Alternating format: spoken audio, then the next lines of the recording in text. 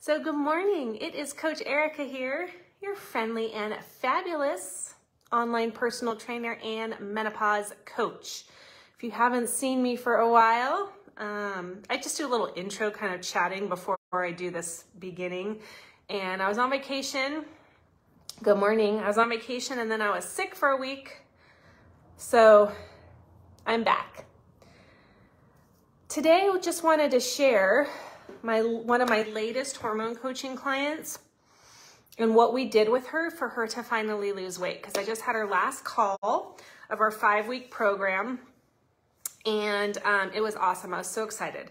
The first thing I want to address is is you know is talk of this hormone balance crap. Because I have seen that on Instagram people touting hormone balance, then other experts saying that's crap. Your body balances hormones naturally and, you know, your cortisol goes up and down naturally. This balancing of hormones, um, this talk is predatory and not true. And the thing about it is, number one, who is saying that? number two, um, is that person certified? Does that person have a background in any kind of hormone, menopause, perimenopausal um, medicine, or coaching? Number two, it's a very nuanced situation. So, in general, do hormones balance themselves? Yes, they do.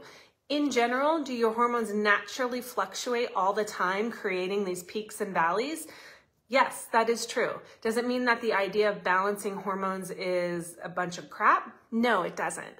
And that is because women going through this stage of life have very concrete changes to their bodies and their hormones that do affect how they lose weight, maintain muscle, experience energy shifts, all that stuff.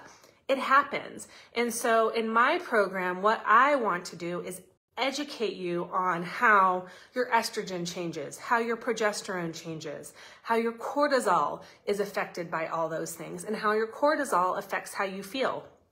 So does it mean that if you just magically balance your hormones and don't do anything else, you're going to lose weight? No. That's why my program is over five weeks long and it includes not only that hormone info, but also strategies and um, shifts to your fitness, how you need to shift your nutrition, and then how you need to change your lifestyle. So always be aware of what you're listening to and watching and reading on social media and if you need help, come to somebody like me who has multiple certifications in hormones and menopause treatment. I shouldn't say treatment, fitness and wellness coaching, um, and see how we can help. So that's number one. Okay, so number two, my my uh, latest client just finished her five week coaching program with me, and I'm going to just talk about her eating because this was a big thing we changed. There are three things I want to talk about that she did that finally enabled her to lose weight. Number one, I always make my clients track their eating in MyFitnessPal. You don't have to do it for the rest of your life, but for during our coaching, it really helps to see what you're eating. Because what I found is most people have no idea what a serving size is. They don't really know what they're eating throughout the day. So what we discovered with her is that she was not eating enough. She was eating under 1200 calories a day. That is not enough for anybody that I've ever coached to eat. So the first thing we did was actually boost the amount of food she was eating, which she was shocked because like many people, she just kept thinking she needed to restrict to lose weight. But she had restricted so far that her body was not going to lose any weight because it was like trying to hang on to everything that she was taking in and everything that she had, like her body fat, because she wasn't getting enough calories throughout the day. Number two, this is not going to be a surprise if you listen to me a lot, and that is she was not eating enough protein. So what she was eating, the amount of protein, carbs, and fat she was eating was not a good mix. So we bumped up her protein considerably to about that one gram per pound body weight. She doesn't always hit it, but that increased her calories as well. And because protein tends to be pretty dense, she also is feeling full enough. The last thing is that, and this was mostly a mental thing. And it was a really interesting conversation I had with her because I actually haven't had anyone talk to me about this, but it's probably something that many people do. And I talk about the 80 20 rule, right? So being um, mindful with healthy eating and fitness and all that stuff 80% of the time, If 20% of the time you're not great, you go out and party, you don't sleep, whatever.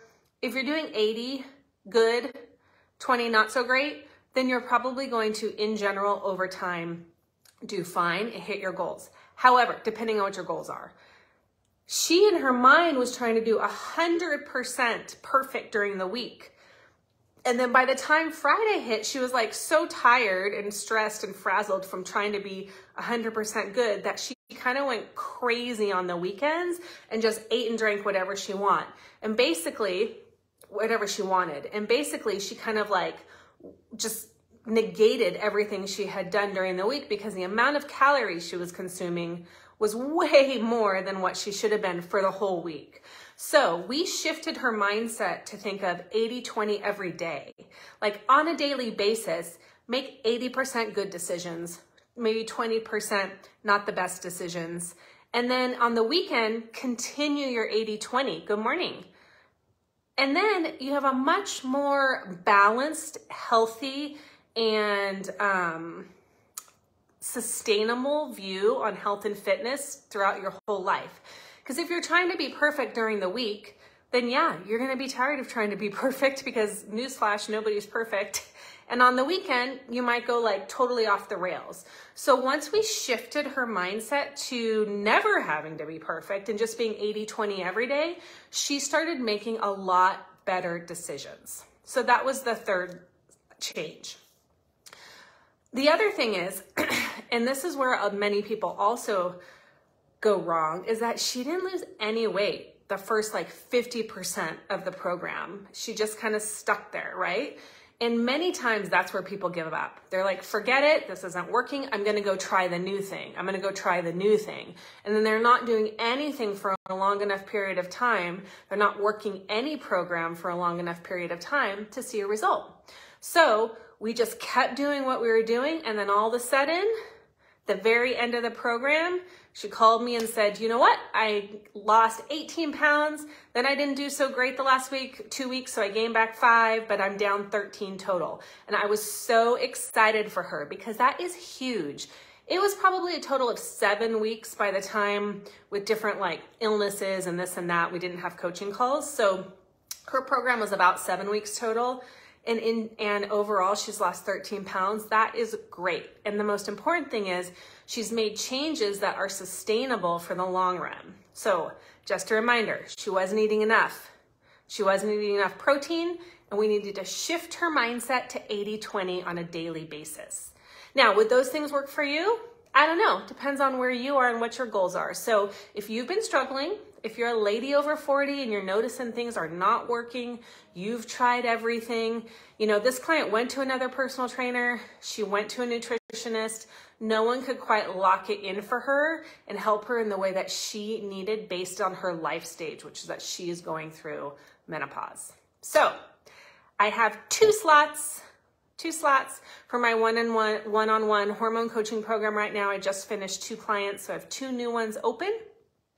So contact me if you need help or you want to chat about where you are and where your goals at and go out, make it a great day. I'll see you next week.